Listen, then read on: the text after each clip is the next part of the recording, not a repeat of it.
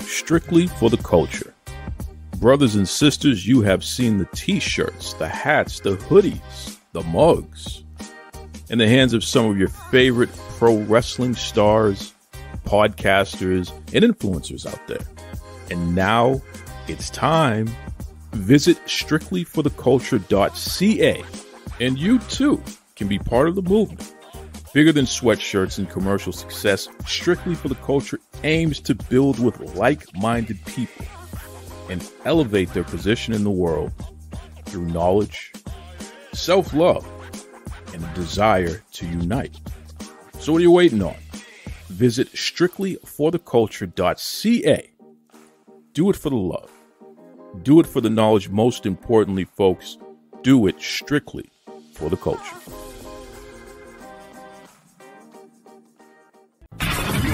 Locked in Look at what we have here, folks. to the only show that matters. The cream of the crop. Duke loves Rasslin. And there is no one that does it better than Your host, I have come here to chew bubblegum and kick ass.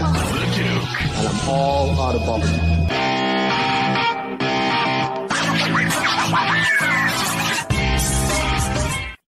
Hi, this is Shannon Knapp, president of Invicta Fighting Championships, and you're listening to Duke Loves Rasslin.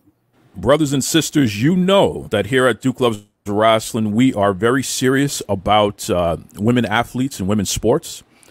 We have been fortunate enough with our listening audience to have a very unusual uh, demographic situation here.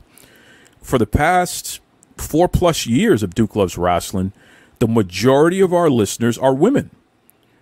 Highly unusual for a show that's primarily about pro wrestling and MMA.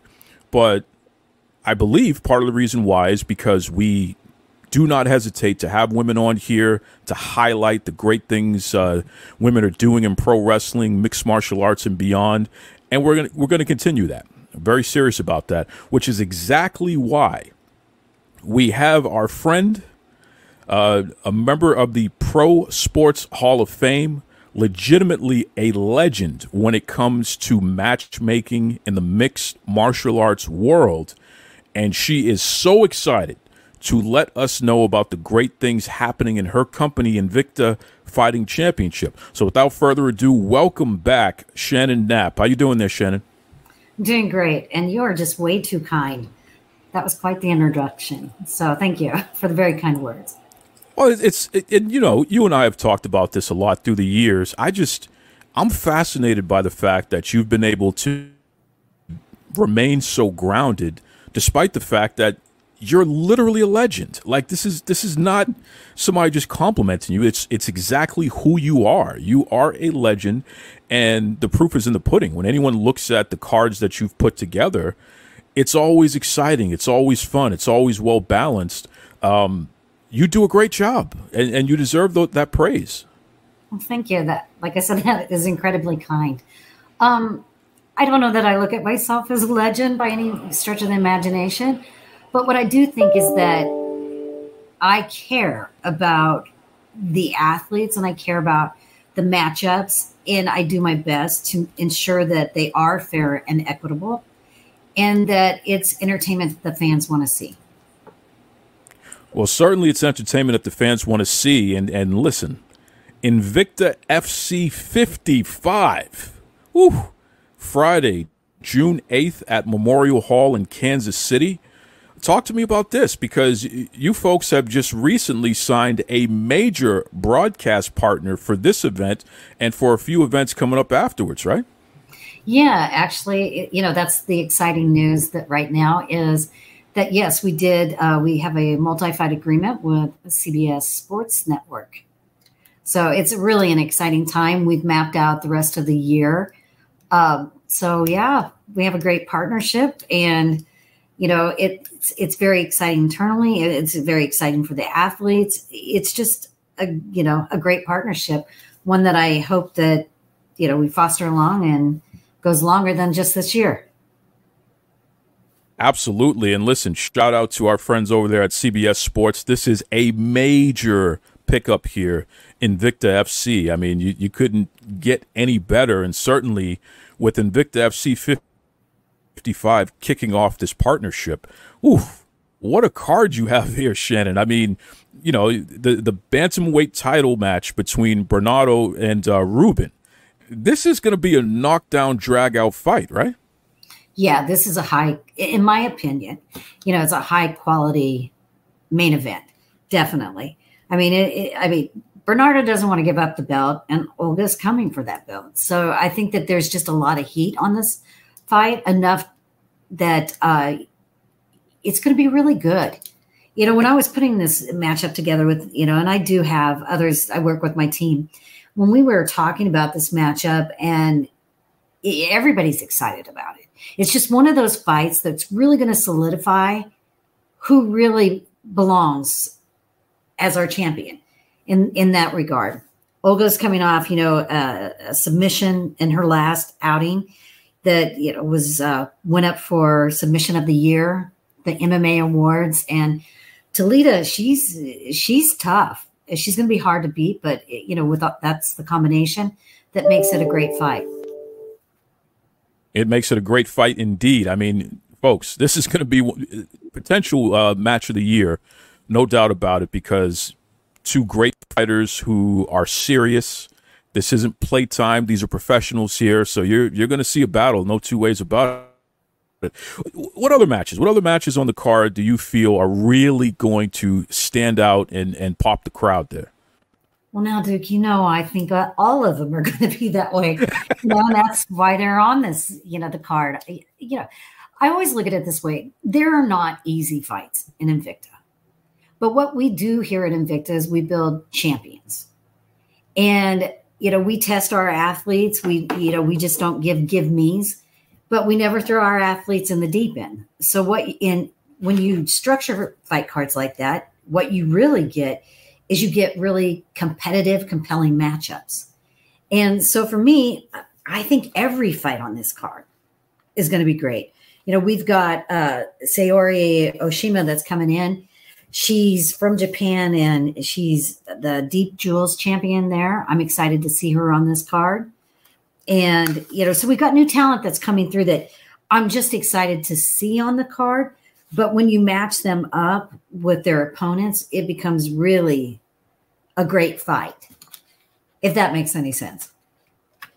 Oh, it makes perfect sense. And I, am telling you, folks, there is something so special about Invicta Fighting Championship cards because exactly what Shannon is saying, they're so well matched. It's it's and then you say to yourself, well, of course they are. You literally have a Hall of Famer. She's literally in the Pro Sports Hall of Fame for this exact reason because she's so great at matchmaking. It's it's really really interesting when you think about all the matches that you'll see in Invicta and just how competitive they are for the most part. Uh, it matters. It certainly does matter there. I, I wonder, Shannon, what's going to happen next? I mean, you got this great distribution deal with CBS Sports now um, for your next couple of fights there. What else? What else do we have going cooking in the uh, in the pot, so to speak? Well, I think we've always got something going on over here, even when we're not moving fast. We, you know, we're always thinking and, you know, branching out and trying to find ways to make combat sports better for women. So I, know I talked about this before, but it's still on my agenda with the boxing, you know, uh, kickboxing, and some type of a jujitsu style event under the Invicta banner. So hopefully, you know, we'll be able to roll those out sometime very soon. But yeah, we're always thinking about growing, you know, and moving forward and doing what we can to really make a difference for the women in the sport. And thankfully, women's sports are really being more embraced than they have in the past. So I think that kind of knocks down some barriers for us and opens up, you know, the roadway for us to make some good changes. So we're really excited about that. Absolutely. And, and, listen, like you said, you know, women's sports is really moving up in the forefront. Uh, the WNBA, they're breaking records with attendance and, and television viewership and what have you. You have the Olympics on the horizon here. You know, folks are going to get excited about all the women's sports in the Olympics as well. That energy continues to carry. And certainly when it comes to Invicta Fighting Championships, it's right there as well.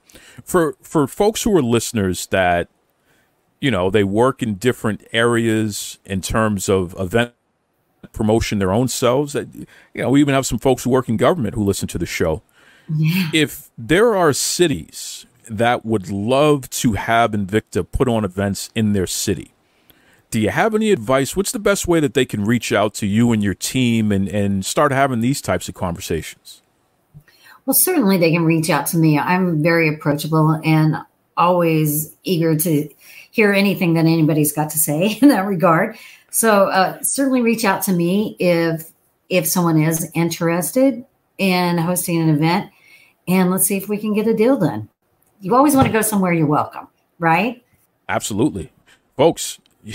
you want Invicta FC in your city. There's no two ways about it. Again, the the excellence of the matchmaking, the fact that they're, you know, have this partnership with CBS Sports. So these are big match, big event feels there.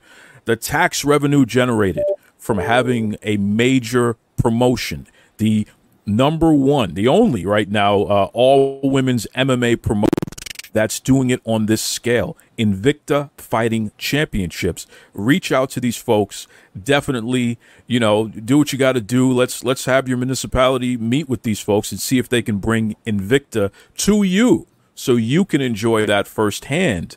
Uh, but if you can't catch it, definitely you got to tune in on CBS Sports because Invicta 55, it's coming right around the corner there, June 28th, Memorial Hall, Kansas City. Can't wait.